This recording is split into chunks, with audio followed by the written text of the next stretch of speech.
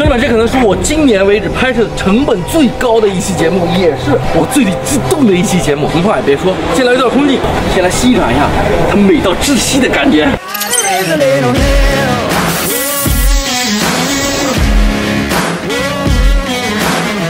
没记错的话，我应该是国内第一个试到这台车的汽车媒体，而且国内试过这台车、开过它的人也是非常的寥寥无几。法拉利296 GT3 的赛车，这是一台价值七十万欧元的赛车。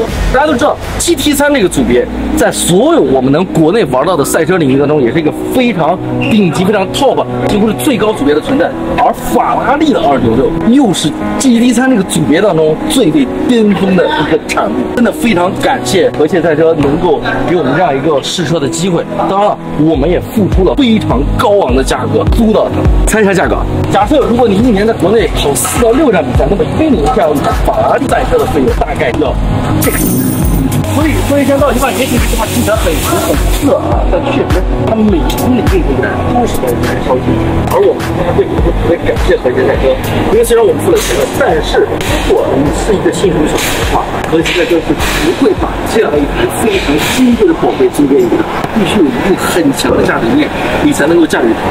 而租赁它的费用，兄弟们先点个赞，我求你们了，我给你鞠一躬，不含轮胎的价格三万多人民币，我真的是人生当中租过。最贵的一次车，而且平均三万多是一天，一节是二十五分钟，并且我刚说这还不包括轮胎，轮胎是两万多一套，所以咱们这一期的拍摄成本我刚刚讲的真的很高。来吧，废话不多说，宁波国际赛车场，让我们飞起来。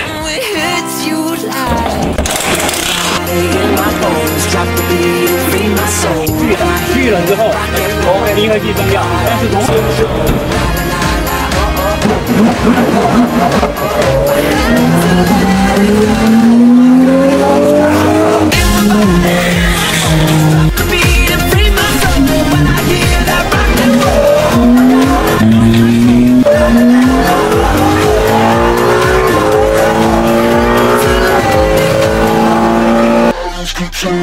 like a shot to the face.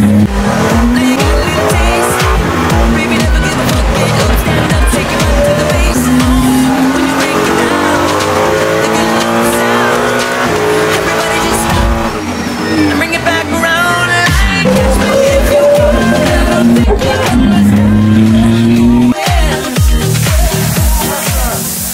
我们戴维聊天，我们和谐的车队经理下车的时候，我就在跟他聊说这个车区别到底在哪？我说这个车怎么可以这么快？可能是因为它法拉利包括它空气力学的问题，就它的转弯的时候给你的这种信心啊，就是你随便吧，随便转。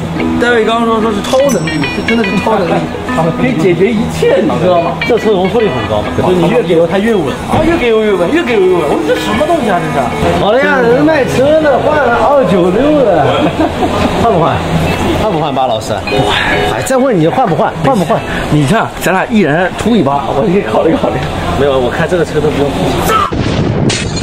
实我我讲实话，我再总结一下，为什么我们一定要去感受这种瞬息领先的态度？我们就说，目前你能在国内摸到的，也就是它最贵的嘛。当然，你为什么要去做这件事儿？